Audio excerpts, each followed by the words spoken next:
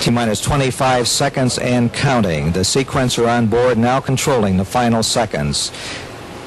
T minus 17 seconds and counting. The body flap and speed breaker in launch position. T minus 10, 9, 8, 7, 6. We go for main engine start. We have main engine start. And the ignition and liftoff. Liftoff of STS-7 and America's first woman astronaut. And the shuttle has cleared the tower. Roger roll, Challenger. Houston now controlling. Mission control confirms roll maneuver started. Ground com on all AM channels 217 doing. 20 seconds. Thrust looks good. 25 seconds. Roll maneuver completed.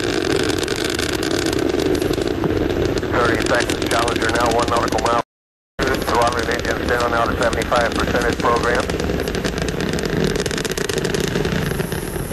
40 seconds. The Challenger now 2.5 nautical miles in altitude. 45 seconds. Challenger now 3 nautical miles in altitude. 50 seconds coming up now on create a maximum aerodynamic pressure on the vehicle. 55 seconds. Challenger 4.5 nautical miles in altitude. Mark 1 minute. Q, still looking good. Throttling engine back to 104%. Giving it a go at throttle up.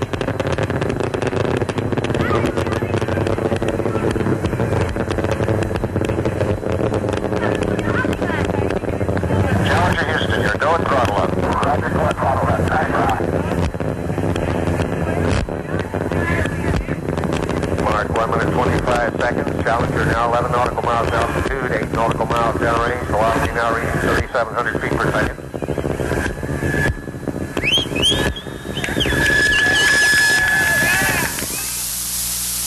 Mark 1 minute 40 seconds. Challenger now 16 nautical miles in altitude, 13 nautical miles downrange. Crippen Hauck and uh, Company now coming into the last traces of the Earth's atmosphere. Challenger now 19 nautical miles in altitude. 1 minute 55 seconds. Challenger 21 nautical miles in altitude, 21 nautical miles downrange. Standing by now for solid rocket booster separation.